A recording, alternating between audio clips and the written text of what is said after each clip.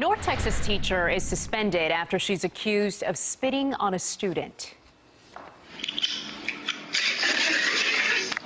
Video of the incident at Grand Prairie High School surfaced online earlier this week. The district released a statement that says in part, quote, due to the nature of that interaction, the teacher was immediately placed on administrative leave and will not be returning to the classroom. The safety and dignity of our students is paramount to providing a nurturing environment where students can learn and be successful. Now we're working to learn more details about this incident and the teacher involved.